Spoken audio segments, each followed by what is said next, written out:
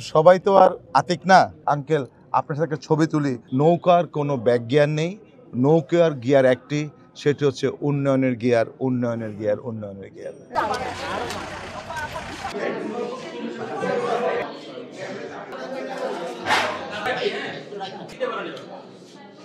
পাঁচ বছর পরে একবার ভোট হয় এবং অবভিয়াসলি সাত তারিখ কবে আসবে, কখন সকাল হবে, কখন সবাইকে নিয়ে আমরা আসব।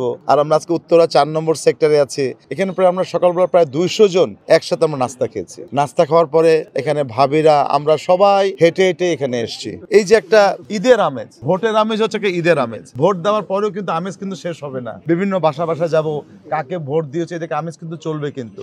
ঈদের আগেও যেরকম ছিল, কি কিনবো আর ঈদের পরে কি কিনেছি? ঠিক সেরকম ভোটের আগে কাকে ভোট দিব? তারপরে কে জিতলো? আমরা সেই স্মার্ট বাংলাদেশ বিনির্মাণে মাননীয় প্রধানমন্ত্রীর যে ম্যানিফেস্টো আমরা দেখেছি এবং এতে অবশ্যই আমরা মনে করি যে এবার ইলেকশনে ইনশাল্লাহ নৌকার বিপুল জয় হবে এবং আমি সবসময় বলে থাকি, নৌকার কোনো গিয়ার নেই। নৌকার গিয়ার একটি সেটি হচ্ছে উন্নয়নের গিয়ার উন্নয়নের গিয়ার উন্নয়নের গিয়ার।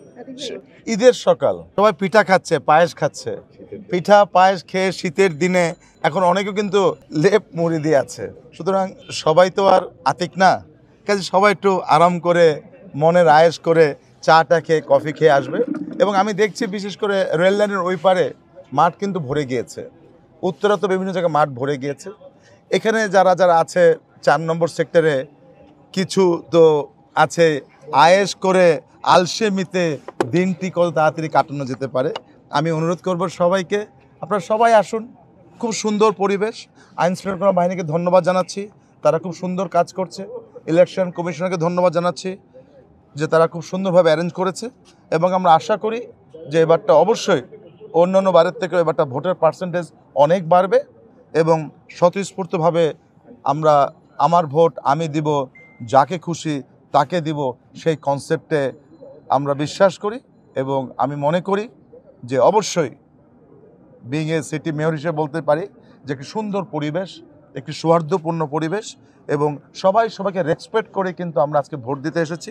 এখন ছেলে হোক, মেয়ে হোক, সবাই এবং আমার সাথে আজকে অনেক নতুন ভোটাররা কিন্তু এসছে, মহিলারা। আঙ্কেল, আপনার সাথে ছবি তুলি, আমি হলাম নতুন ভোটার, আমার জীবনের প্রথম ভোট। সুতরাং এই প্রথম ভোট দেওয়াটাও কিন্তু একটা অনুভূতি।